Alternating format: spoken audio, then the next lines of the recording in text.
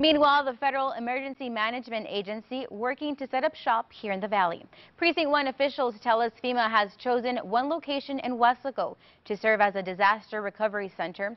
We're told FEMA officials will be working out of the Weslaco Economic Development Corporation building. However, there's still no confirmation on when that'll be open.